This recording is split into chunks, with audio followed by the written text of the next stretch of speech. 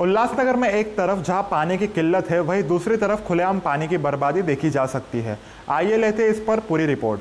हम आपको लगातार दोनों ही खबर बताते आ रहे हैं कि कई जगहों पर पानी की किल्लतें होती है तो कई जगहों पर जो है पानी ही ज़ाया होता है। ऐसे में शहर के कई इलाके हैं जो कि पिछले कई महीनों से जहाँ पर जगह जगह पर लीकेजेस है, जहाँ पर पानी के डिफ़ॉल्ट है पाइपलाइंस पर, लेकिन उसे दुरुस्त नहीं किया जाता।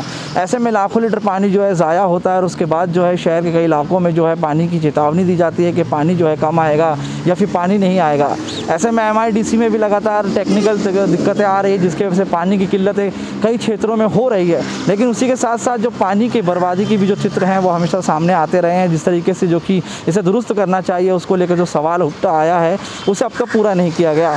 ऐसे में शहर में लाखों लीटर पानी ज़ाया होता है। वहीं टैक्स के लिए नागरिक से भरते भी हैं। तो देखना यह है कि प्रशासन के द्वारा जो कि जिस तरीके से जो कि पानी की पाइपलाइन लीकेजेस है, उसके ऊपर किस तरीके से कार्य किया जाता है, या फिर इसी तरीके से शहर में दोनों तस्वीरें देखने को मिलेगी, जहाँ पर पानी की किल्लतें भी होगी और पानी की बर्बादी भी होगी। और जो जनता है, वो टैक्स का पानी का बिल भी भरेगी। ऐसे में देखना है कि पानी पुरवठा विभाग किस प्रकार से कार्य करता है और आने वाले समय में शहर में जो कि पानी की पाइपलाइन लीकेजेस है, वो बरसात के पहले किस तरीके से दुरुस्त की जाती है।